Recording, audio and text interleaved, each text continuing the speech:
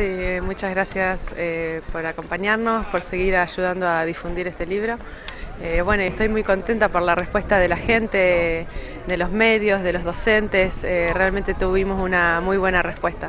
Bueno, ¿qué le aporta o qué ya le está aportando tu libro a la sociedad y puntualmente al sistema educativo, podemos decir, a nivel local? Sí, ya podemos decir que está en muchísimas escuelas, ya lo, ya incorporaron como material de estudio, eh, maestras y madres de chicos eh, de, en edad escolar primaria ya lo están utilizando eh, diariamente en clase. Bueno, y, y, tiene mucho de didáctico, ¿no? Que es lo que se buscó.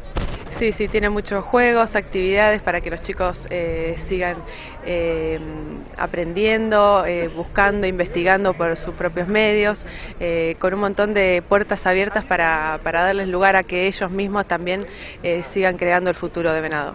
Bueno, lo que decíamos junto a la, directora de Educación, esto de que no es habitual que autores locales puedan, digamos, introducir un libro ¿no? al, al sistema.